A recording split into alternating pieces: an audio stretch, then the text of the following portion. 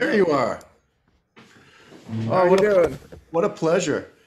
I was I was uh, before before I uh, when I woke up this morning, and forgive me if I'm a little slow because I I had my second uh, COVID shot yesterday.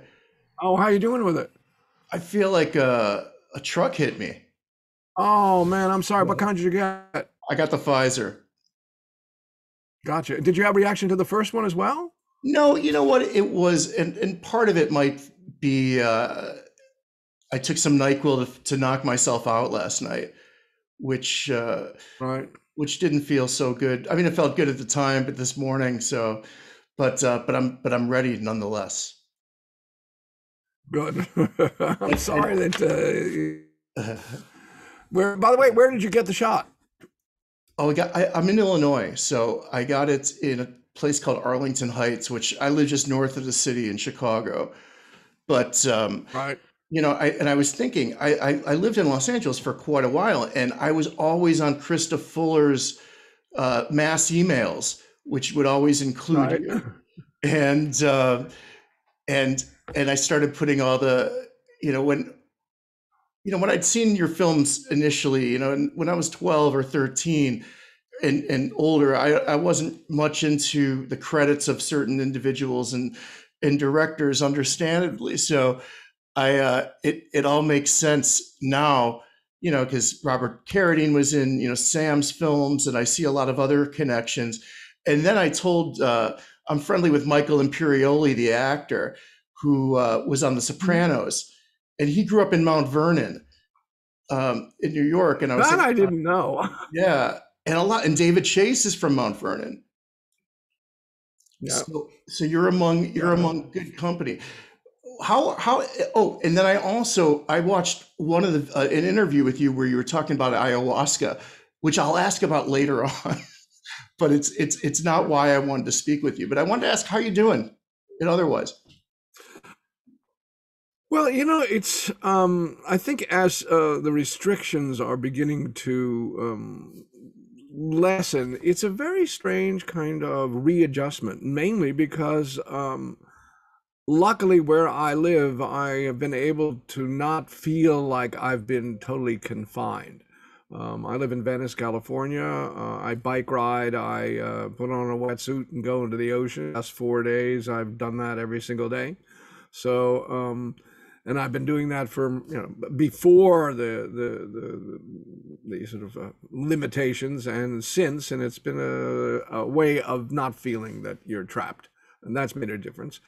And then the strange thing I think is that every now and then, some of the contacts that we've been able to make via Zoom have actually my experience personally. For example, um, I'm an American Jew, and we celebrate uh, Shabbos, which starts tonight, Friday night.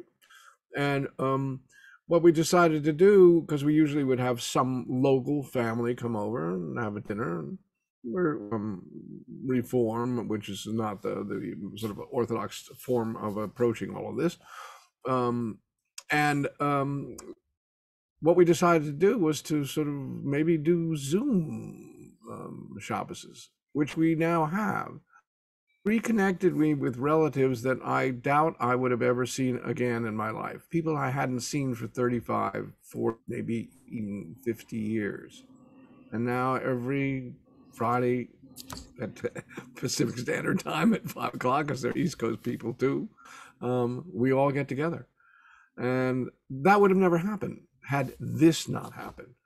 So that's very uh, sort of the, the positive and negatives to any particular kind of experience and how you use it and how you work with it. One of the, uh, I'm a professor at the School of Cinematic Arts at uh, U- University of Southern California, and of course we've had to change all of our classes um, uh, from being in-person classes to being online classes, virtual classes. And what's been fascinating there is things. One is some of these classes are actually a little bit better because of the intimacy of look at a face. sure.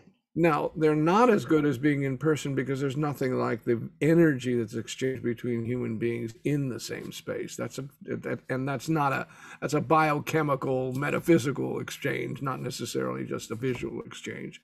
the other thing is that the students under pressure of the limitations of the bubbles that they're supposed to quote uh, make their films. Some of them have made remarkable films films comparable to films that were before that may even be better. And i think that there's a whole i guess it, it's a choice that you always have when there's a lot of pressure. It, it's how you're going to respond and for some people, when there's a lot of pressure, what happens is it it it debilitates them. And I understand perfectly how that why it happens and and how they feel. Um, but for others, what it does is it stimulates their potential creativity. And so they, well, I can't do this, I can't, but I could do this. Hmm. And then think- what happens is some of the is just um, I, I, just think it's quite remarkable. I mean, we're finishing a series of uh, uh, that is in one specific class. It's a core class at the at USC, in graduate school, and the set of films there, both comedies and sort of very difficult pieces, are remarkable. And some of them, yes, do deal with the issue of the separate, uh, uh but others have nothing to do with it at all and you wouldn't realize that they were made in this particular so this this this capacity to adopt and i mean i guess it's evolutionary and also create is there even when you have limitations that you didn't want mm-hmm.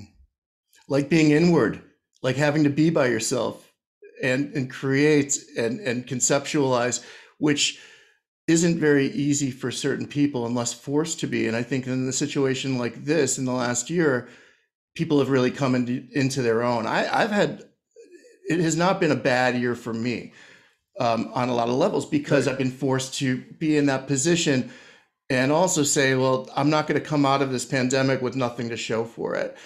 And, uh, but don't you marvel at how amazing and how uh, you talk about evolutionary? Uh, technology is now.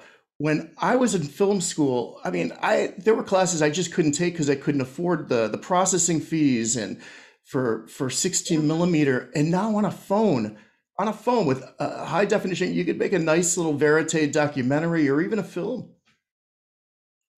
Uh, there's no question about it. You look at things like uh, about two or three years ago, the movie Tangerine, which was all shot on an iPhone on uh, kind of a uh, like like a little steady cam. I just got one of these devices that you can put the, your iPhone on, which is about this big, right? right. Um, and it's a, a, it's an absolute gyro, you know, gyroscoping uh, device.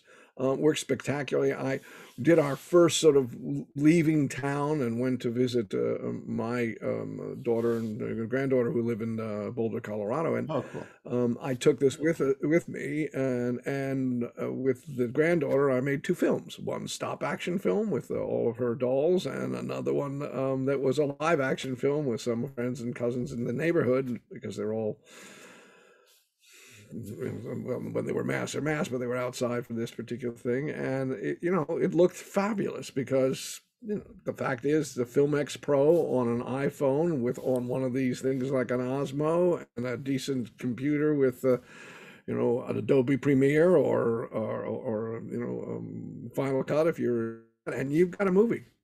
The that's only thing that's limiting you now is the stories you're telling, and it's the people that you're working with. Meeting, you know, who's the so, in one way, we have changed gigantically in terms of um, the access to um, uh, the material you need to make the films. But at the same time, as I look at film students, the opportunities for them to actually have careers are more limited 30 years ago, even though there's far more distribution uh, spaces in terms of, you know, a lot streaming and cables and all the rest, opportunities are not as great.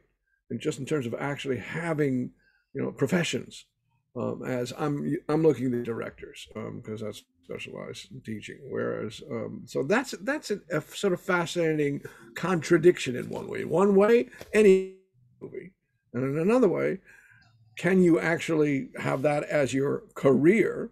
That's much more challenging to be. Was this a career that you envisioned as a as a 21, 22 year old? Absolutely not. Not at all. Um, uh, I'm looking at Abbie over here laughing at me. This is Abbie Hoffman here, uh, yeah. laughing at me. no, I was a, uh, I was socially and politically minded during that particular time, and my interest was, if anything, um, at one time I, uh, the law, and then I honestly was not. I took classes in it when I was at college and did not enjoy them at, at all. I like the philosophy of the law, but I certainly didn't like the details of it. Um, and then uh, I thought of education um, in some form, particularly education that would make people more aware and potentially more active uh, in terms of their own policy, in terms of their own communities. Um, and so that's what I was fascinated by in terms of how you specifically would use, and I don't even know if I would have used the word media back then, but I was thinking in terms of film, I would have used that word, and how it affects uh, people's consciousness. And I was interested in learning about that in order to be able to then potentially teach that, potentially be some kind of an advocate that used uh, film, um, but uh, to be a filmmaker was not something that I had any interest whatsoever. I mean, I liked when I was a little kid, and I still do. I love it actually. In fact, my most recent movie that I just made is a 30 minute animated film from drawings that I did um, uh, over the last year and a half. Wow. Um, so I've been always into animation, even when I was little. I mean, when we would go to the theaters, all I cared about were the, the animated cartoons because we would be seeing B and C feature films that either scared me or didn't interest me. And I never asked the question, how did that get made? Never. Uh, my shock was um, I learned uh, in my high school, it was the first high school in New York City to teach the Russian language, and my grandparents were from uh, Russia. Mm-hmm. Uh, though they didn't speak, I rarely saw them. But the point is that um, Russia was at that time declaratively our enemy. The wall was up, etc. Uh, um, my attitude was that um, if you learn the language of, I was very naive. If you learn learn the language of the enemy, the enemy is no longer the enemy. So um, they were teaching it, and I decided to do it. And it's, I guess, it's in my blood a little bit, so it was fair for me to learn. Um, and one of my teachers took us to see movies that were in Russian that were showing in New York City at uh, the two theaters that showed um, alternative movies like The Thalia and The New Yorker. Mm-hmm. And we saw a double bill, and on that double bill was a movie um, literally stopped me in my tracks. I was in ninth grade. And um, I remember this thing, and my eyes just got wider and wider because I'd never seen anything like it ever before. And I knew the music. I'm a musician, um, and I would study classical music when I was young, so I recognized it, but I didn't know it was associated with a movie. And I was just, I came out of the theater and literally said, for the first time in my life, "Who made that?" I didn't know people made just there. Who? And that movie was made by the genius Sergei Eisenstein, and the wow. movie was called uh, um, Alexander Nevsky, and the music was by Prokofiev and it is, even today, an astounding piece of work.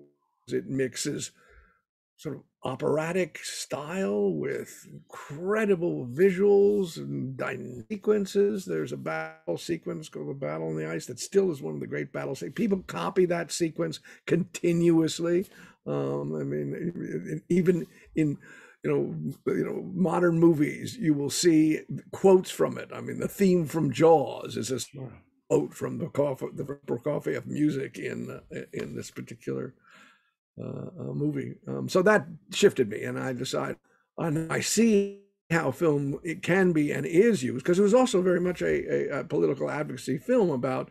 And this World War II was just about to start, and this was about the invading um, Niemets, which is the word for foreigner, Germans, who come with the religious justification to destroy the Slavs, to destroy the Russians. And so, you know, this was a an advocacy film about the strength of the Russian people.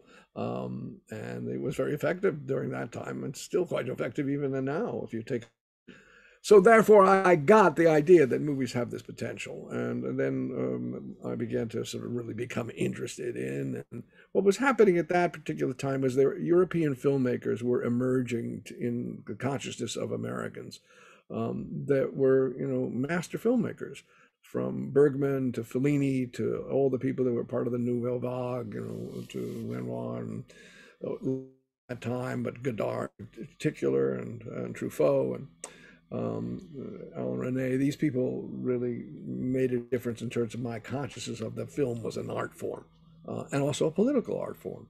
And so I decided to learn how to make movies in order to be able to then use them for that kind of purposes. And uh, that time you'll get this. There were five school graduate schools that taught film courses. That was it, five in the United wow. States. They're well now over 750 to 800. How many in New York at that time? Four. There was just there was just actually in New York. There was literally NYU. Right. There was BU. There was the Annenberg School in uh, University of Pennsylvania, and there coast schools, uh, USC and UCLA, and I had absolutely no interest in Hollywood whatsoever. So there's no, even though I got into all these uh, schools, I certainly was never going to go to the West Coast. Who Hollywood? What did Hollywood make? Um, little did I know. I mean, you know, I, I learned inevitably that, of course, Hollywood has made some of the greatest movies that ever have been made, um, and that lots of these filmmakers who I admired enormously admire Hollywood filmmakers. But I, you know, I, I didn't know that until I started there, to were, study there, film and to make it. And, yeah. No, were there were there directors that I was just going to say when I when, go ahead. I was just going to say that what hap- happened to me was when I started to make film, uh, actually to do it. And then it was a very, very hands on, very kind of different from now. Well, I guess not in the sense that the camera's a camera.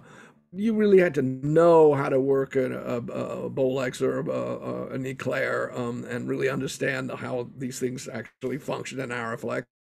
And then in the editing room, it was a very physical process. I mean, you were touching film you were using a device that, like a scissor device, you were gluing it together. You sure. were putting it in a moviola. And yes, the flatbeds came out and you were doing that, but it was very. And I enjoyed that physical nature to it, to it. And I fell in love with the whole process. Um, and partially because, you know, I write, I perform, I'm a musician, I'm a graphic artist. And what I realized was that all these things that I love to do sort of scholarship, which is the way I was raised, uh, um, they're all in this one form of creation.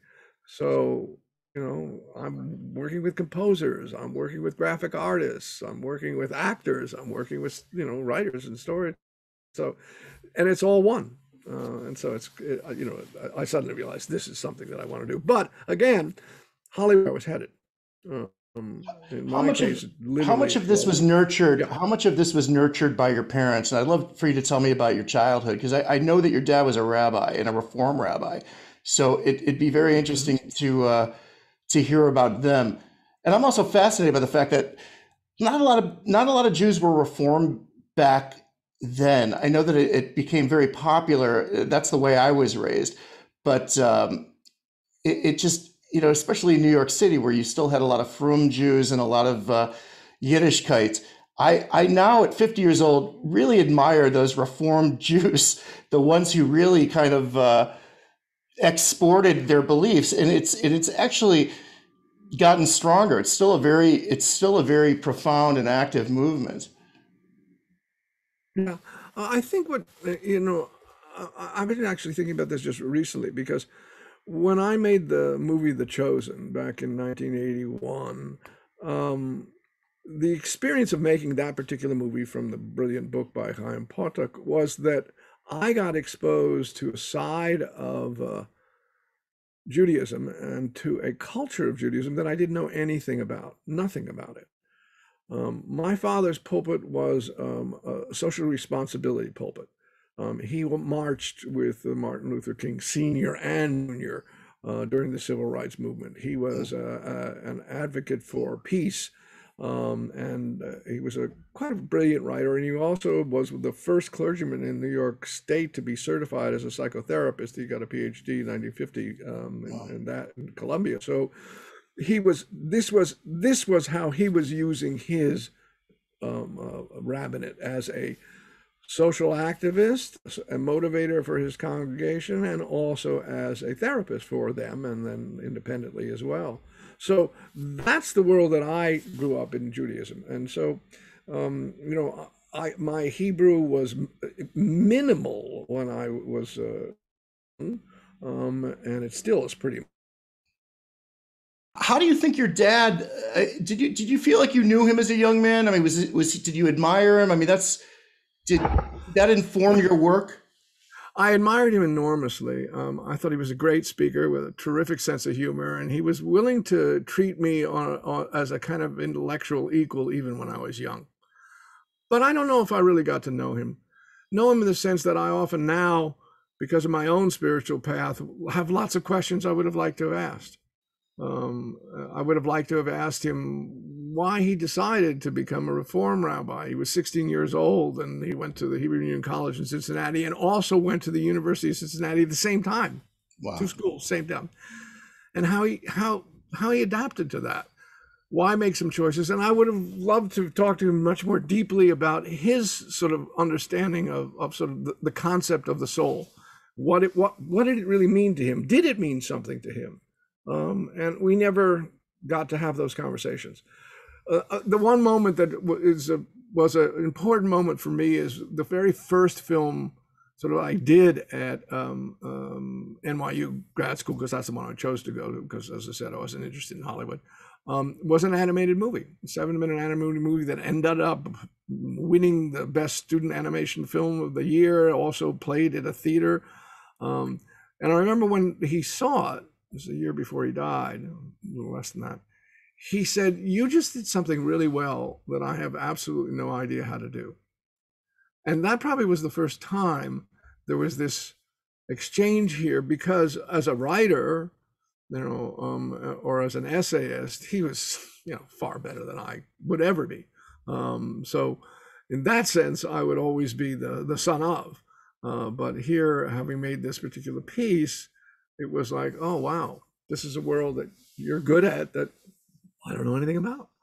Um, so no, that's that that when I when I went back to watch your films, knowing that I was going to talk to you, at least a few of them, the ones that, that had made such an impact on me as a young man, uh, and it, I and I realized they still did because seeing them as an adult and seeing what you got out of these actors, uh, you got such a human quality out of all of them, such as something so almost visceral. Like I could just really feel even Robby Benson in The Chosen, and then going back to watch um, Conspiracy, which I had watched the uh, the Aaron Sorkin version, and I remember getting through it, at, and at the time not realizing that you had uh, directed the the 1987 version that I'd seen on HBO when I was in high school, and I, I felt it was so lacking and I had to watch yours again. I found it on YouTube and then it had been released on um,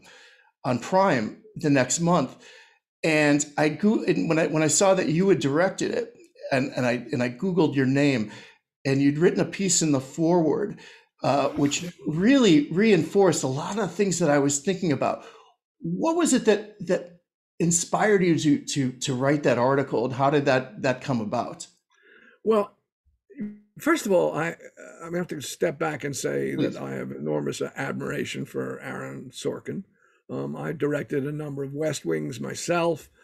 Um, I think the guy is a truly brilliant writer, and I think his political stance in terms of progressive ideas and fairness uh, is is strong, and he is, I think, made an enormous difference by creating that particular series.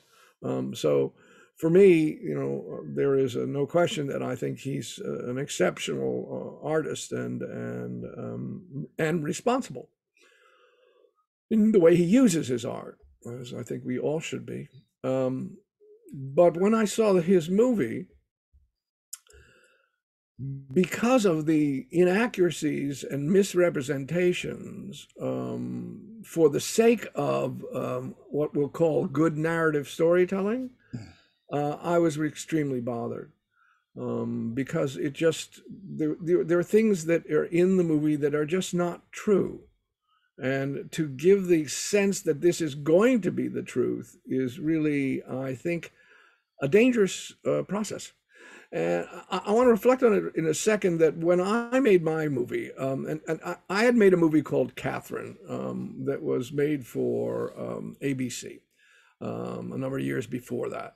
And this movie was based on what was called the Weather Underground. This is a group of young people who started out um, really wanting to see uh, civil rights, fairness, um, uh, uh, voter rights and registration, end the war that was then uh, going on in uh, Vietnam, um, and found themselves so um, blocked by the system that they were able, unable to accomplish anything. And in fact, oftentimes were punished for their belief systems and their actions. And some of them went to get to be more and more radicalized to the point of which they actually thought that certain kinds of violent action would be appropriate to actually make change happen.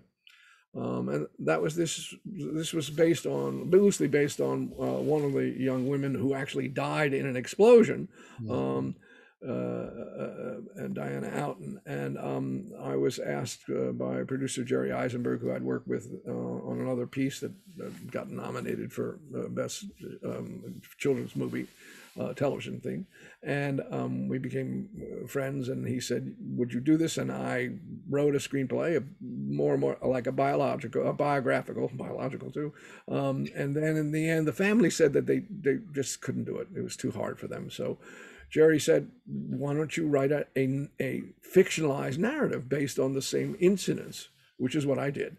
Uh, cast uh, Sissy Spacek and Art Carney, the Academy Award winner, to play her father, and it was one of the best movies I've ever made. And it covers sort of the seven years of the development of the radicalization of a young American woman from being uh, from the upper middle classes to really be out, out on the streets. Um, the movie got a lot of attention. Um, and then CBS came and said, Would you do a movie about the conspiracy trial? Which I knew about, of course, because, you know, I was around in 1968 uh, during the riots in Chicago and 1969 during that trial. Mm-hmm. Um, so, uh, and I knew Abbie in New York vaguely because uh, I, you know, he, he, lived there and he would be a spokesman there, and I'd sometimes go to places where he was, you know, speaking because he was incredibly smart and and, and dynamic, and um, so I decided to do this, and I had a way I was going to have a live rock band be on stage all the time in the movie, and uh, it was really quite sort of quite a quite a piece that I'd written, and, I met all of them. I met you know people that are be, behind me on this screen, Bobby Seale and uh, and Tom Hayden and uh, Jerry Rubin and Rennie Davis, and uh, so they're there and they're um, and um, uh, it was a fabulous experience to understand more deeply who these people were, why they made the choices that they made. Um, and CBS decided this was far too radical a movie for them to make. They weren't going to make it. But I had the experience of writing it and meeting these people, and, and that was in itself, you know, incredibly exciting. So fine. Number of years later, I get a call from one of my agents saying, "You know that thing you wrote uh, about the Chicago conspiracy trial?" I "Yeah." Um, it was based on what? I said, well, it was based on all the transcripts. Um, you know, I went literally and, and the interviews I did with all the real people. And they said, oh, well, uh, HBO, this new company, HBO, would like to make it. And I said, what? This is years later. I don't understand. Well, apparently there had been an article in the TV Guide, which I had never seen, about the best scripts that never got made. And the first script that was talked about in this article, how this happened, I have no idea, was the one that I'd written. So I sat down with the HBO people. There were about 20 of them in this room. and at that time, I said, Well, this is the way I'd like to make it. I, I, want, I want to shoot it on video. They all looked at me with these strange eyes because in those days, nobody shot anything on video except for some live shows. I want to do it because I want to take all the documentary footage that actually exists that was shot during that time. And I want to be able to create a stage in which we'll do something green screens. They kind of vaguely knew what that was, that will slide in and out so that as somebody's testifying, you'll actually see what they're talking about, the real footage. And I also want to integrate the interviews that I did with all of those people, the video introduced of the real people, right. so that when an actor Carl Lumbly, who's playing Bobby Seale, is being bound and gagged, the real Bobby Seale will appear right over his uh, head and uh, talk about the experience integrating the real people within. They're all sort of like oh, okay, I guess, because no one had sort of made a movie quite like this, and but they let me do it. Um, very limited amount of budget, but we did it. Um, it was so funny the kind of the digital work that we had to do in order to make this work. Uh, this integrating of these three different levels uh, was incredibly complicated, which now we could do in a half a second on a machine at home, but not back then. But here's the point: everything in that movie happened. And one of the things that happened on the last day of the movie, I asked all the real defendants to come to the set here in LA um, and every one of them was there except David Dellinger, who was in prison because of a peace activist thing he had done. Um, and they all showed up. Um, and they were there. And we, the last scene in our movie, you see them um, with the actors that are playing them. It's quite wonderful. Um, and one of the things that happened is I remember Tom and Jerry Rubin and uh, Tom Hayden, Jerry Rubin, and, and Abbie over here beginning. To, I saw them arguing about something that we were staging. And uh, what's going on? Well, it is true that Jerry Rubin did Heil Hitler Judge Hoffman, played by David Opatoshu. Great performance by David. Um, equal to Frank Langella, who did a fabulous job as well. But um, um, they were arguing did he stand on a chair or did he stand on a table? Now, they were all there. The reporter said that he stood on a table. So that's where I got my quote fact. But everything else in this piece was, in fact, said by these people at the time. They never said anything that they didn't actually say that was recorded. One of the things uh, that that Tom and Jerry and particularly Tom and Abbie were saying, who were friendly, not enemies, um, was that this is now going to be the history of the event. I said, "What do you mean?" I said, "Well, before this, it was articles and books that were written about it. Now here's this movie, and this will be the reference. People will refer to it. And now people will refer to the most recent movie, this year's movie. Right. And the problem is threefold. There are three major events in this movie that are not true. And they are now, if you will, going to be the truth because people are going to look at this movie if they want to know about the Chicago conspiracy trial. The first one, and the one that I think is the most bothersome to me, is the way uh, that David Dellinger is treated. Dave Dellinger was a peace activist.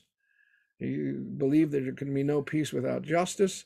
He was a conscientious objector during World War II, if you can imagine. Yeah. Um, and um, he never hit anybody during the trial. In fact, the one thing he did physically during the trial, when they were attacking Bobby Seale, the African American that was bound and gagged, he put his body in the way of the officers so that they couldn't quite get to Bobby as easily. They had to throw him aside, but he didn't resist. In the movie, he punches somebody. It's a great dramatic moment works like gangbusters. It's not true. And I remember seeing a webinar with two of his daughters, grown women now, and they were literally crying that their father now is rep- misrepresented in this particular movie. The second thing that's that's bothersome for me about the movie has to do with the, the treating treatment of Bobby Seale. Bobby Seale did not. Fred Hampton never came to the trial. That's not true. Never was there what can I tell you? Um, and uh, he is in the movie, the new movie. And uh, Bobby um, spoke for himself since he was a co-creator of the Black Panthers. He didn't need somebody to advise him. Um, he's a very smart and very articulate man. Um, so was and, Huey Newton. Exactly. And yeah. he stood up, by the way, for himself um, repeatedly in the trial, um, confronting the judge and when he was bound and gagged, he was bound and gagged over a number of days, which are all sort of you know, reported in and seen in my movie. It got worse and worse to the point of which, also interesting enough, not true in the new movie, but very true in the in the, in the reality is, as the other prosecutor, Foran, um, who was an equal participant in interviewing people um, as a prosecutor, not somebody just sitting there um, and, and, giving some snide looks. And uh, that's not what happened. Um, he was as much an advocate, and he, and he gave opening and closing statements, etc. Not just Schultz that uh, is in the, the, the new movie. And he was even saying, "We've got to, you know, let this guy go. You can't do this." Okay. The third thing that that was disturbing is, in fact, the very end, which is a great end to a movie. Oh, it's fabulous, good narrative. Didn't happen. The moment that the names of the uh, soldiers were read was not the last day of the trial. It was on day 23, 28, can't remember, of a 106 day trial. And the person who read all those names was not Tom Hayden. It was it was Dellinger. It was David Dellinger. Yeah. And not only did Dellinger read all those names, but he read names of Vietnamese people who had been killed that week as well. Wow. Because he understood that this was a, a, a war in which innocents were being killed on all sides. And that's who David was. It's a great scene in my movie. Uh, um, there's this great fight over an American flag that actually happened because they put an American flag and a Vietnam flag out on the table, and the guards came and grabbed the flags, and there's this great struggle of grabbing this flag. so I had problems. I had problems with the fact that, and you know, the, the issue of is is that other movie a really good narrative movie? You bet it is. Yeah. Are there good performances? Sure, they're good performances. Is it an accurate reflection of what these people did and their courage and the dangers to them and how this all evolved? No, it's not. So I needed to, you know, be one of the voices that said, and I could be a voice said not just because I've read stuff. Go look at my movie. Yes. I almost had to watch your film to cleanse my palate after watching that because I I I remember feeling such a connection to yours and, and in such a way that it made me ask those questions about the generational clash and the inability of of of the the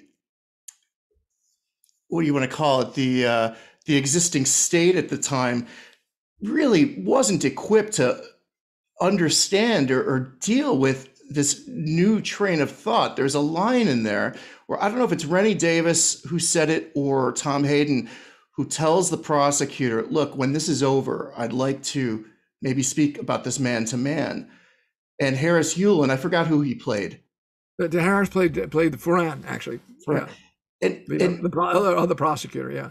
And there was such an, in, he was stunned because it was such a, it was just a very I thought it was a very sincere, you know, it also works well in the political theater that they were creating, but it, he didn't know how to deal with this. And he looks at the judge who, who Judge Hoffman, uh, knew nothing. I mean, it, it, it's sad. And when he was, when he was protesting the fact that he was called a racist, I felt that he, in deep in his heart, and if he went as deep as his soul, uh, uh, knew that he wasn't and he too was a German Jew, you know, and which is you'll have to tell me that story that I read about uh, the actor wanting you to say the word Yeka, yeah. but but it.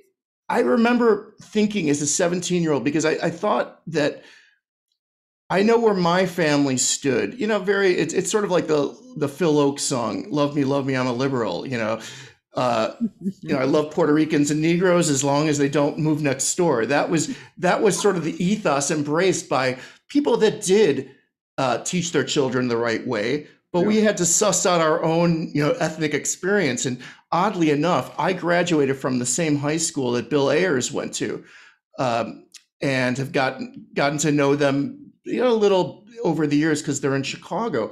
But my school was this great cultural. I thought it was like a cultural bastion. You know, the kids from the South Side, the black kids were were the stars at the school, and and uh, you know international kids and it was only 300 students. And bill ayers had gotten that same it was a little waspier when he went. But the reason i bring that up is that i i knew that there was something uh, probably uh, disheartening for those involved at the time. When when in your film when michael lembeck who's playing uh, abbie hoffman is talking to the judge julius hoffman and calling him julie it really felt like this was a son going after his father. And the father just kind of like your dad saying, rather than saying, that was amazing, Jeremy, that's like, you did something that I couldn't do. That was his way of complimenting you. right. and but and there's a breakdown in communication there no matter what if you know obviously you still loved and re- admired your dad but i have similar ex- exchanges with my father who's a little older than you but it, it's I, I i really felt that with your film with with the new one i didn't feel it as much and there was there was no jewishness in the new one where you had you know abbie hoffman and this really interesting you know confluence of of jews. Yeah. It, it's just to me you you nailed it. They didn't but i'm not here to to to, to you know, uh, it's, it's interesting about about this. It, it really is. The um I think that the story Aaron tells uh, uh, about getting this job is probably really a significant story, because when Steven and I, you know, I know Steven Spielberg and I've worked with him. Uh, um, you know, I worked on one of his series about uh, UFOs because that's some. I've made a movie about that as well, um, called Roswell, um, and I, I don't know if Steven had seen this movie. I found out uh, uh when I was interviewing Aaron just a couple weeks ago for the Directors Guild Meet the Nominees uh, series that we do that he um, uh, had seen my movie. Uh, he doesn't acknowledge it, but he said he had. And I even asked him. I said, Aaron, how about you and I have a, a conversation, you know, for at let's say at USC, uh, comparing the different approaches. He said, sure, let's do it, let's do it. But um, so far, we've not been able to arrange that, and I don't know if it's going to happen. But it would be interesting to set, have this conversation, uh, see the choices that he made. But the thing is, he didn't know a thing about the trial. When he, uh, when Steven said, "Would you do this?" He said yes, and then he, as he says, he called his dad and said, "Dad, what happened?" Because you know it's not part of his knowledge. So it was all a historical kind of, oh, this is, I'm going to look at history and I'm going to rewrite history to good narratives to tell the story I want to tell.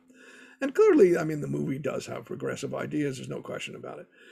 But it doesn't have what I would call the courage um, and the commitment um, that was um, so intense for all of these people. And the realization that all of them, all these people behind me at this moment, that we lived and live in a system that is an oppressive system mm-hmm. that we all like and admire and all can praise all of the phenomenal things that America represents, but also have to admit what America is responsible for. Mm-hmm. It's built on slavery. It just is. If it weren't slavery, we wouldn't be all sitting here as we are now. It is built on the destruction of the native peoples that were here, the killing of 90% of the indigenous people who were the original Americans. Let's just admit it. It's built on a war machine. Is that a hard thing for most? Why do you think it's so hard for people to admit that? Because it's so painful. Who wants to go and carry that kind of pain and that kind of, if you will, guilt? I don't. I don't want to feel that. And a lot of times for me, uh, the way I get around it is, oh, but I'm an American Jew. I'm an immigrant too, second generation immigrant. But, you know, my people suffered for 2,000 years. So, you know, this is the sort of, then I can now start to identify with the Lakota. Well, I'm sorry, it just doesn't quite work that way. They don't even need to go back 2,000 years. They could have done 1840 to 1945 or 1946. It's enough yeah. And so the so the ability to admit who we are. And remember, one of the amazing things about the defense, which is not represented in this new movie at all, is who they called to testify. You got, you know, Judy Collins singing a song and having her mouth stopped by one of the officers because the judge wouldn't have her sing in court. You got Allen Ginsberg, who's represented as kind of foolish in the movie, reading part of Howl in court. Now, those of us who read Howl know this is one of the great anti capitalist, anti sort of uh, uh, totalitarian poems ever written, and it's about America. And these are the people saying, because this wasn't just a political trial, which is what Aaron was emphasizing, and of course it was, and everybody knew right from the start it was. It wasn't, it wasn't being discovered, but that's the way he wanted to tell the story. Of course, it was a political trial. Everybody knew that. But what was really on trial was a look at American culture, which could be on trial right now. You know, one of the amazing things to to look at is to and I, I had this experience of going to Germany. Um, I had a movie that was uh, playing at the Berlin Film Festival, a movie that I did for Disney called The Journey of Natty Gann, and Oh, it was my first time in in in Berlin, and I was really and this is before the wall went down, and I was 1985, and I was really concerned and angry and and feeling like you know the first thing I'm going to do is spit on the ground, and I think I did, and the spit went right into my face because there was wind going up. It was a perfect sort of metaphor. And Yeah. as I started to meet people in the next generations and talk, I realized they're all talking about it. Yep. They're all talking about what did our fathers and grandparents and grandmothers, what did they do? Why did they associate with Hitler? Why did they become Nazis? Would could we redo that ourselves? And that was the conversation that was being had everywhere I went. So the point is, they are accepting the responsibility that they have generationally to something that is one of the awful things of the last hundred years. Have we done that? And the cultural revolution that all of these people behind me represented were saying, we have to do that. We Mhm. have to accept our responsibilities. We have to really talk them through. We have to understand, like Rennie Davis, you know, at the end of the trial, every one of these people uh, testified, not just Abbie, although Abbie's was in many ways the most amusing. And because Abby was a history buff, he knew all about everything. He knew about Lincoln, and you know, and that Lincoln would have been put on trial in just along with them because of what Lincoln said about you know overthrowing a government that uh, was non-responsible to the needs of the people. But you know, Rennie Davis in his, he's a Boy Scout. Rennie just recently died. I hope his soul soars. Um, he, he held up this little thing and described what it does. It, it was this uh, bomb that sends out nails Yeah. and destroys everything in its path human, animal, whatever it is. And it does not necessarily destroy the structure, it's meant just to kill lives. Yep. These are the things that we were creating and dropping on, on these towns in Vietnam. And it, it's so powerful just to sort of just to hear this to say, this is what we are doing. Recognize it, deal with it, discuss it, take responsibility for it. And I feel like, you know, there's Rennie. Where is Rennie up there? There he is. I feel like uh, it was wonderful to, to have that in the movie that we made because what the defense wanted us to do was to be conscious of who we are and not suffer from the guilt, but move past it to a sense of righteousness, fairness, responsibility, Mhm. which, you know, in some ways right now is beginning to happen in the areas of, uh, well, I was going to say obviously Black Lives Matter and Latinx issues. Social I was discourse. also- I was also going to just say the areas of gun violence. Yeah. You know, the last feature film I made three years ago is a movie called Shot. Um, and the movie is about the consequences of what one bullet does to a whole bunch of people's lives. And and it's a really good movie. Unfortunately, in its distribution, it just didn't get out there. Um, but it can be watched on Amazon, and it's a very, very strong, strong film about gun violence and the issue. I mean, the idea that we as a nation do not really stop and look at the fact that every single day 100 people are going to get shot, that over 35,000 killed, that 60% of those are suicides by, by handguns that are too easily able to be gotten. Yeah. Is there a reason for, for, for having these machine guns in people's hands all across this country? Compared to anywhere else in the world, we are 10 times to sometimes 50 times more violent in gun violence than any other society, including societies that are at war at this moment. And this is a daily activity of our culture. Are we going to stop and look at ourselves and say, is this who we are? And if this is who we are, what are we going to do about it? And that's what all these people represented. And that's what I know in the movie that we all made is in it that energy, that sense of responsibility, that promise that, you know, we can do something to really shift our culture. I feel like in the new movie, that's not where that movie is. Do you think, though, generationally, um, I've always looked, I've looked to your generation for lots of answers and, and have looked at, uh, at it with admiration because of how articulate those gentlemen behind you were, that they were all if you want to take the, the term best and brightest, you know, which was you know, describing Kennedy's administration, that this was the best and brightest of, of, of our outspoken students and and people like uh, Dellinger, who was older than these these guys, yet still found, uh, I guess you want to call it uh, cultural simpatico or something like that. But it's uh, there was there there was bravery. I, I, you know, again, it's still you're you're dealing with film. It's it's not always three dimensional. You get as close as you possibly can to it, but do you feel as though that younger directors, ones that come through your your classroom, have a responsibility to to not be revisionist in in the way certain films dealing with history are. Do you do you think that where's the responsibility lie? I i don't like seeing when things are historically inaccurate in films.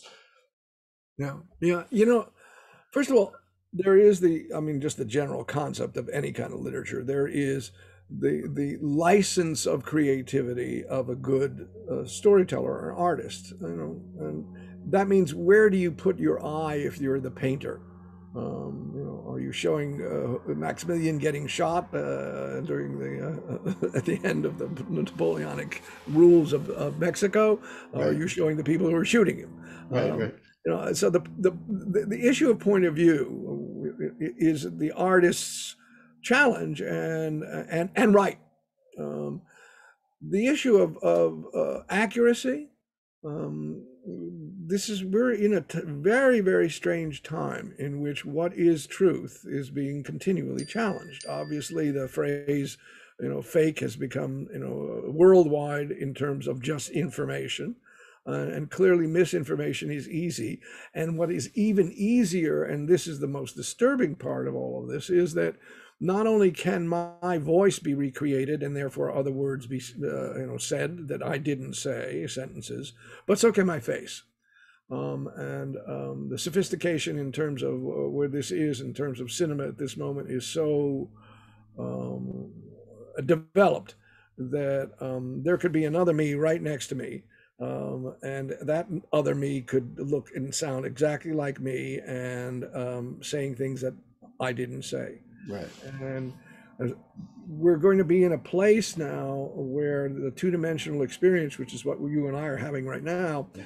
is going to be less and less trusted because it's going to be able to be, you know, re- recreated and reformed, and you just don't know if it's true or not unless the person is actually there, um, which is going to be a fascinating time and a challenging time because what's the truth?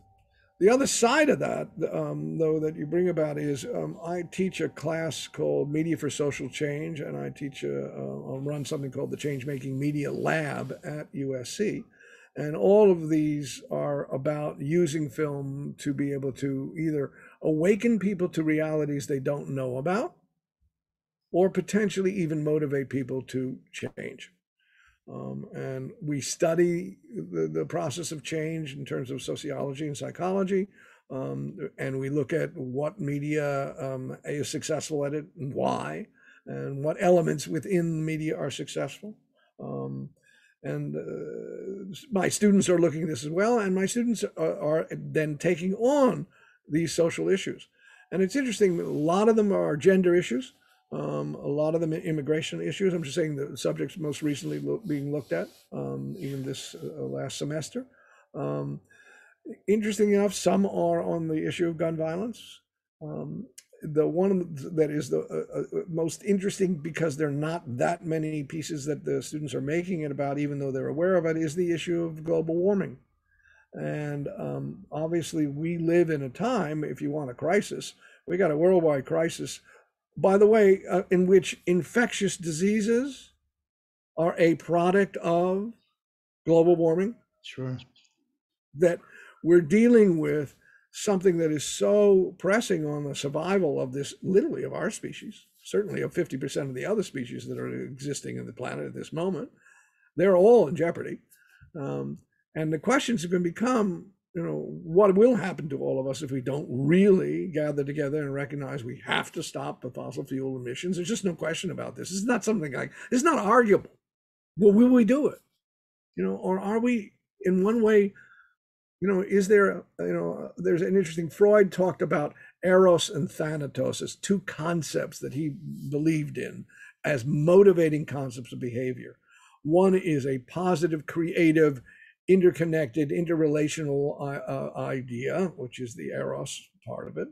And thanatos is the Greek word for death um, and the drive for self destruction. Um, and the question is, you know, are we a species that is driving for its own self destruction besides destroying other species? I don't have the answer to that, but I know that that's what we're facing right now. And I also know that it's really difficult for filmmakers to actually take it on. Yeah. It's just, uh, you know, it's like for younger filmmakers, some of them have said, well, I'm not feeling it yet. Although, interestingly enough, I was talking to uh, um, um this week. I've been uh, mentoring for the Climate Reality Project. This is former Vice President Al Gore's uh, organization that trains now almost 30,000 people to be able to share information. Um, and I asked the, uh, the, the people that I'm mentoring, um, have you had any direct experience of, of global warming? And what's fascinating is that, as I'm not surprised, most of them say no because most of them actually are, you know, from well-to-do uh, areas, uh, even though this is a free uh, training. Um, right. But there were people like uh, there was a young woman from the Philippines, um, and she said, "Oh yeah, when I was ten year old, uh, ten years old, my, my, my house flooded." But it was kind of fun at 10 years old. I mean, my parents were freaked, but you know, so wow, look at all the water everywhere. But interesting enough, a bunch of people from uh, who are on this particular group uh, from the San Francisco area, their answer was yes. The fires spread into the air and they breathed the soot and the pollution. Um, so they actually felt it. I mean, this last so, year was insane. I've never seen anything like it. So, in this sense, people now, you know, it, it's interesting. If it doesn't touch, you know, they're not in my backyard. If it doesn't touch me, it's not my problem. Um, people are beginning to have it touch them, and it is their problem. So now the question is can you make media that's going to stimulate others to action? Um, and that's something that, you know, this conversation started with uh, looking at the Sergei Eisenstein's movies, and he definitely was a political filmmaker wanting to stimulate people to fairness. Um, and at the same time, you know, here we are you know, almost 100 years uh, later uh, from his uh, early movies in the 20s um, and and still looking at how does cinema in all of its forms and all of its distributions from the iphone to the you know to the imax how does it you know change your perception of the world and motivate you to um, into action? Are you inspired by your students? Do you do you see some real uh, shining lights in in, in in the chairs or in the uh, the virtual chairs? Are they intellectually curious like you were? I, you know, I would say that uh, there are always an individual or two or three each class where I would say yes, that um, and that I've learned from them, um, and I've admired their their courage in the way they've uh, decided to tell a particular story. Um, but it's fewer than um, than one might expect, even at what's called the greatest film school in the world. Mm-hmm. Um, and I think partially that's the time. Um, I think the spread of egoism and individualism, rather than you know ecosystems, rather than ecosystem concentration, has you know still been part of the breeding of the last number of generations. Mm-hmm. Um, and I think a certain kind of discouragement. Um, you know, I think the Bernie movement really was an exciting moment in terms of this real rise in youth ac- activity. Um, and I think we're seeing some of that again um, with the uh, in the uh, anti-gun violence movement and again in the uh, uh, global warming movement, and obviously represented by Greta Thunberg, who you know becomes a symbol for everybody and particularly for the next generations or the or the newer generations that that they need to step up and potentially take over and be the voice because i mean look i mean it's it just if you look at congress today and you realize that well over 75% or more of Americans believe that gun violence is a horrendous thing in our country and that things like background checks and getting rid of these these uh, you know machine guns um, availability and doing the research to help people be able to balance their lives and not by uh, gun violence. Um, the, the overwhelming majority of Americans believe that, and the Congress doesn't. So who are they representing? Who are they uh, representing? And the same issue of global warming. I mean, it's way, way over 65% or 70% people uh, not only believe it, but thinks it needs to be done. And the idea of shifting from fossil fuels to more renewables, you know, just makes sense and everybody gets it. Mm-hmm. The Congress doesn't. Well, then we got a real disconnect between who would quote are our leaders and what we, the people, want. I think the state level gets it because there is all kinds of legislation and even funds provided for solar energy and renewable. I know that it's it's mandatory in California because you know it's there a couple of nuclear reactors are shut down. There's a lot that needs to be done, and solar is is certainly an answer. But I want to shift away from from that sure. stuff. And I could talk to you about this until the cows come home because First of all, I, I, wa- how- I want those cows to come home because there's an issue of cows and methane. You know, by the way, one, I just say this, then we'll move on.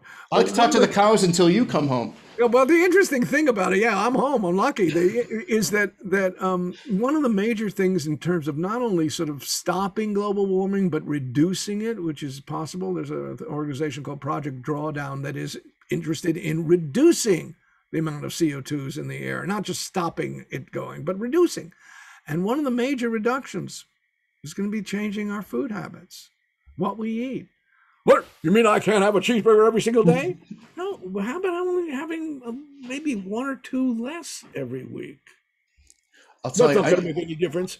I stopped eating a lot of food in the last month, and it's just I'm seeing weight come off of me because well, I also have a nine year old daughter, and I have a very bad habit of finishing her food. but but but still, I. Uh, no, but what I was going to say about you is that I'm glad to see that it, it, these these are still issues that motivate you, and uh, you're able to sort of merge it with with your your storytelling and and your craft and inspire other students. And there's a certain vitality in that. Otherwise, we'd be talking about the past, and it seems to me that you're a very present person. I think that, um, and I'm lucky. I'm very lucky that I I um, I look at some of my compatriot colleagues, filmmakers. Um, obviously, this is this is a as many businesses are. This is an ageist business in the sense that you know if you are a unless you're a big money maker, if you're a certain age, they've never heard of you, they've never seen your films, and they're not going to give you opportunities to make them. Now, again, as we talked earlier, you can make your films yourself. Um, but be, by being able to be someone who is in the process of teaching and teaching is really uh, is an exchange. It's not just what i know it's what you know and it's a meeting ground between those.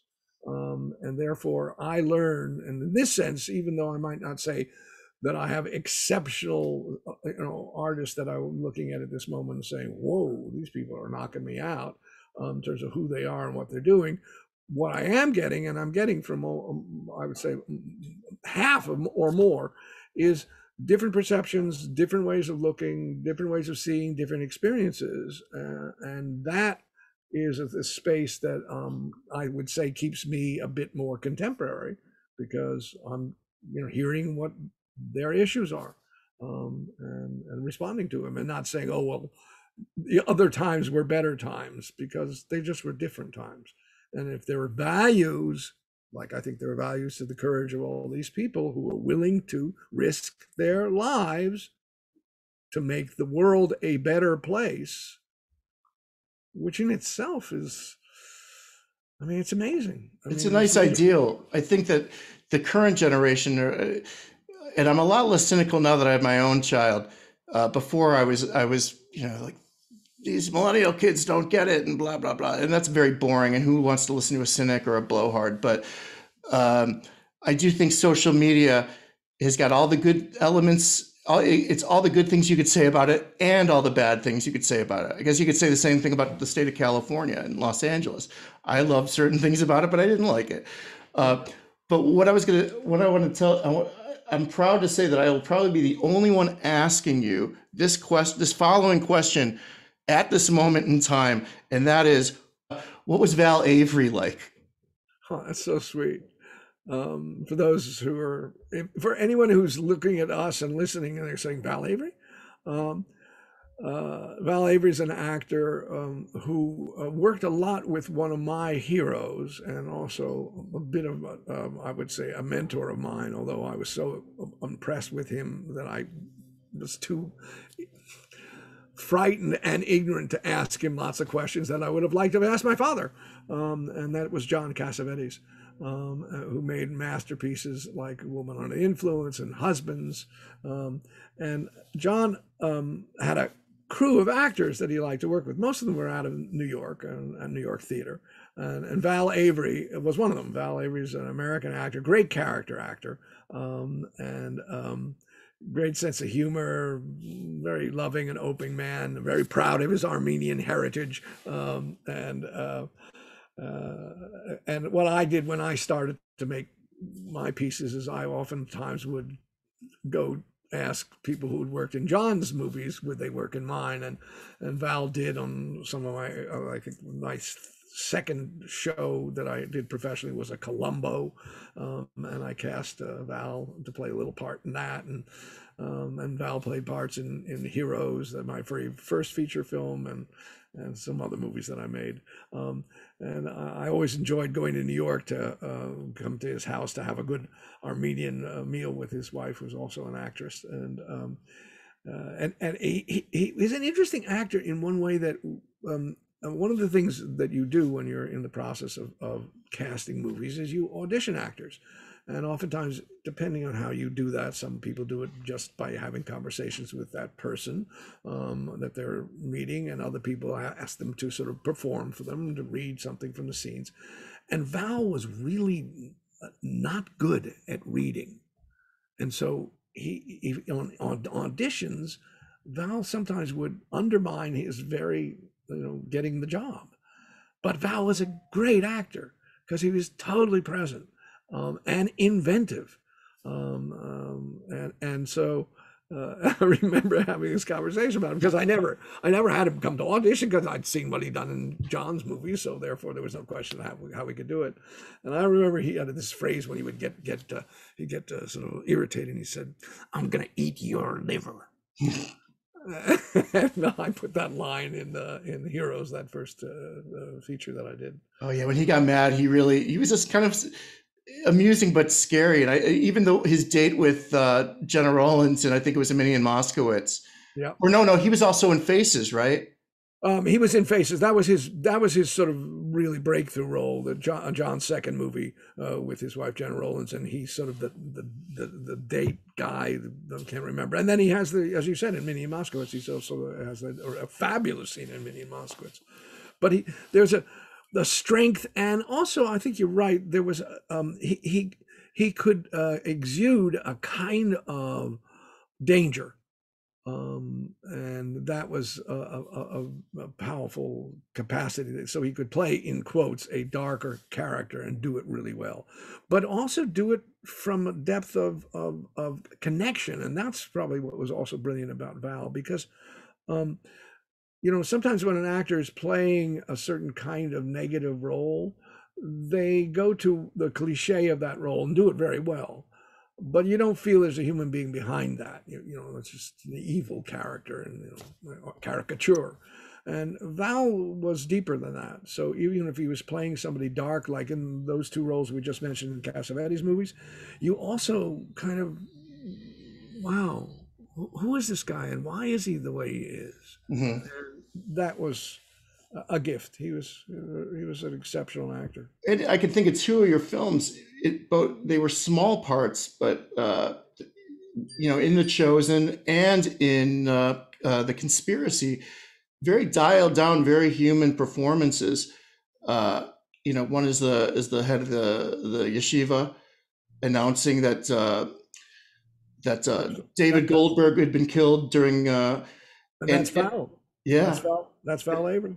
Yeah, and I didn't notice that. Also, I noticed while watching the credits yesterday of The Chosen that Mel Howard worked with you, and I thought that he was great in uh, in um, that movie with uh, the Lower East Side. Yeah, yeah. I know what you. I know which film you are. Yeah, yeah. yeah. Uh, Mel's Hester Street. Yeah, Hester Street. Mel is quite well. Yeah, he's wonderful in Hester Street. Yeah, Mel was um, um, assigned to be the production manager on, The Chosen, and we became really, really good friends all the rest of his life. Uh, in fact, there was an interesting moment when um, um, Michelle LeBron uh, was his wife, and and Mel um, Mel got a bar mitzvah very very late in life. I think he was in his fifties or something, and um, Mel then got uh, liver disease and had to have a liver transplant, and it didn't didn't take. Um, but as they were going through that process, I said to both of them, to Michelle and to Mel, you should make a film about this. And what they did is they um, they actually sorry I just they um, they made this uh, a movie um, essentially about his dying, um, and um, it, it, became a quite a quite a, a, powerful piece that played in lots and lots of film festivals. Um, and I remember because Mel and Michelle are both filmmakers that looking at their own lives and investigating something that was a crisis in their lives and and then using film as a way to express themselves as some people as writers would might use writing to do it uh, and they did a, a, quite an quite an amazing job yeah. I mean, even other people in the credits, I noticed uh, Henry Bronchtein, who went on to work on The Sopranos as yep. a director, Barbara DeFina. I, I, I, rarely watch credits, but I did yesterday, and I was I was thinking, and then pulling out the computer. The one great thing about Google is you've got this fingertip information. Yeah. But um, I, the last question I want to ask, you know, in, you know, we could talk again at another point, but um, when, when you made films like Heroes or The Chosen or Conspiracy or or uh, any other films, did you feel that at the time when you were slated for production in pre-production that you were at a place that you were always going to be able to handle things? Did you? And, and in retrospect, when you look back at uh, The Chosen, which I think is such a beautiful piece of art, and I would imagine uh, you were so meticulous in, in, in storyboarding and getting the, the look and everything kosher. Uh, did you did you feel or do you feel in retrospect like I was in the right place intellectually, artistically to make the films at that time. And thank God it was in 1981 and not 1975 or 74. That's a fascinating question. And, and, and I think uh, the answer simply is yes, I was in the right place at the right time and in the right space inside me to be able to deal with and make some of the better movies that I've made. I think there's no question about it. Um, you know, there's this phrase, and I, I repeat this, I'll repeat it again here. There's this phrase in uh, Yiddish called beshert. Um, and it's usually used in terms of she or he's my beshert. Um, sure. And the idea of, of, of fate's not quite the right word, but the kind of the arrangement of events, people, and timing such that something happens and something clicks and so you you something that was that was Beshert. Um, and in many ways, uh, as I step back, the experience of making the chosen, the experience of making Catherine, the movie I was mentioning with Sissy Spacek, the experience of making the journey of Natty Gann, the, certainly the experience of making Conspiracy, maybe even the experience of making Shot um, most recently.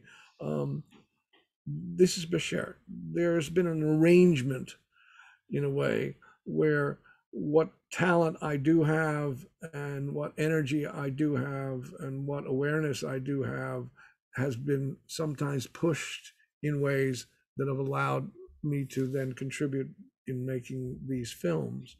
Um, and oftentimes, um, they're not something I necessarily initiated, but there's something that came into my consciousness and then I you know, pursued. Um, Roswell is a, a, terrific example of this, which is also one of my good movies. This was made for Showtime. Um, and Kyle MacLachlan plays uh, one of the leads, as does uh, um, uh, Marty Sheen, who's been in a number of my movies besides my directing in West Wing, and um, he's in Conspiracy, um, and uh, but the way that came is, uh, I, you know, one of my colleagues at the American Film Institute when I first went there, I came when it opened. It's very very first class with people like Caleb Deschanel and Terry Malick and David Lynch. It was a very small group of people. Um, and um, uh, Paul Schrader. And we were all together. And um, this particular uh, individual, uh, Paul Davids, um, he and his kids had had an experience where they'd seen a UFO. I didn't even know what UFOs stood for. And I happened to be going to the birthday party of the guy who was the creative uh, advisor uh, of, the, the, of the AFI at the time, Frank Daniel. And I saw Paul, I hadn't seen him in a long time. We started to talk. And he then told me this story. And I suddenly learned what UFO stood for and the Roswell story, which is an amazing story. And it happened to be because of HBO um, I was uh, with the head of HBO and uh, I told him that story. And he said, let's go make it. Wow. Now, inevitably, it was too controversial for them. Um, so showed, and I only mean that because they wanted to say every fact had to be, you know, everything in the movie had to be. Arthur Kopit, who just recently died, wrote the screenplay, the wonderful playwright, and um, everything we had had to be accurate in terms of what actually happened. Now, I did a Rashomon story because that's what I wanted. Because some people said, yes, it was a real contact from uh, outer space of a vehicle other people said it was no, nothing but a weather balloon. And other people said not only was a vehicle, but there were actually beings that were on the vehicle. And other people said not only were there beings, but some of them survived. So these are all versions. And so I, in the Rashomon way, would tell all these different versions. But they wanted to have the factual, at least two two people who would attest to any of the versions. Inevitably, you know, they hired a, a, a journalist from the, the, Time magazine to wrote a 250 page document of interviews with everybody to sort of like give HBO the confidence that yes, there are two people who said they were live people, they saw them. Um, live. It's so hard to get my head wrapped around it. I love stories like that, but they never come. You know, I think the the comedian Bill Hicks once said, you know, why is it that these UFOs always go to very rural parts of this country? Yeah, sure. And he described them as like it's like an intergalactic Joad family riding around. Right. Yeah, exactly. Well, you know, it's interesting though. Of course, that when you actually deal with the, the very first, even the word UFOs and where Roswell happened, which is supposedly the first major potential contact that sure. we know about. Um, that was no, you know, yes, it, it, was in the middle of the high desert, but what was around was the one air base that had all of our B 29s loaded up with atom bombs. That was where it was in Roswell. So, what you're dealing with is the potential of we know you guys have something that can destroy your planet right. Uh, we may want to contact each other. But then one of the major things, also, by the way, in, in, in fact, Marty Sheen has this moment in that movie because you mentioned it. I know we've talked a long time, so we certainly can stop. But um, is the issue of what is, in fact, truth? Now, most of the way we look at truth is is it, can we touch it? Literally. And that's one of the reasons why this kind of experience has a, a, certain distance from truth because we can't quite touch each other. Um, and as I said, we. But can, it's fulfilling to me and Bashert because I've always wanted to talk to you. I'm delighted, and yeah. I'm enjoying being able to share. And let's get you know, we, I'll, I'll, where, I'll talk to you whenever. where I was going to go with this is there's yeah. another level of existence.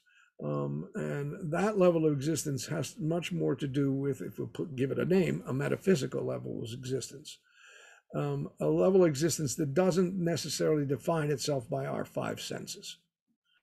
And sometimes we experience things like coincidences. Bashert, I'm using that. Well, if I hadn't met this guy at that party, I wasn't going to go to that party, but I did. But I, then all this happened. Why did it all happen? I didn't arrange it. Not yet. I took advantage of it. When the Right. door opens, you step into it, or you can step into it.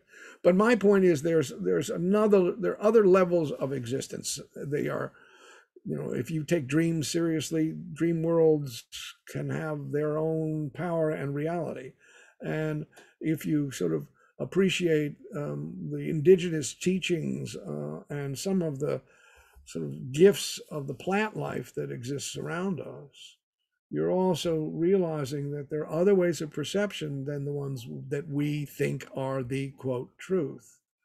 And one of the things that comes out of the sort of alien contact issue is maybe we're not talking necessarily about the physicality of a spaceship or an alien, but on another level of communication, if you will, on alter universes or multi universes that are not just defined by the gravities, uh, you know, uh, uh, that we understand, or electromagnetism, but there's something else going on. You begin to then say, "Oh, wait a minute. We may very well not be the only quote species of awareness and consciousness that is in this multiverse world." And that's something that the, the movie Roswell puts out at the very end of it, because you know the idea of wanting to say, oh, it's got to be, you know, it, has got to look like and touch like and feel like um, you know, what we know as our physical realities of our five senses may be limiting. I was just listening to I don't know the the, the whale songs. There's a, a wonderful series called uh, "Secrets of uh, um, the Whales" that uh, that um, Cameron uh, James Cameron just put out there. Oh, really? National Geographic. It's fabulous. You should show your daughter. It's Okay. amazing. The vi- I just looked at it this week. The the videos are astounding. The So imagery of, too. of beluga whales and sperm whales and obviously humpbacks. But the humpback sings. And I knew this way back in the 60s when there was an album called, you know, Songs of the Humpback Whale, which was an LP. And I remember getting it and going, what? What's fascinating is that I just heard this yesterday is to listen to the sounds of the humpbacks that are clearly songs because they you, you know sheet music write, writes down the notes and play it as a song and what they did which was fabulous is they had an instrument. They used it's one of the instruments i happen to play so i know it. They used a bass clarinet and they used the real whale sounds and they put the two together so that the bass clarinet line sounds more like a music that we understand so mm-hmm. you can follow it. But right behind it and next to it is the whale sound and yes clearly the centralized sound of the whale sound is that note that the bass clarinet's playing but you can also see that above and below that, to our hearing and then beyond our capacity of hearing, because the machines can record it, the whale is also making other sound at the same time it's making this sound. Now, what I'm saying is this and then what we don't see and hear exists.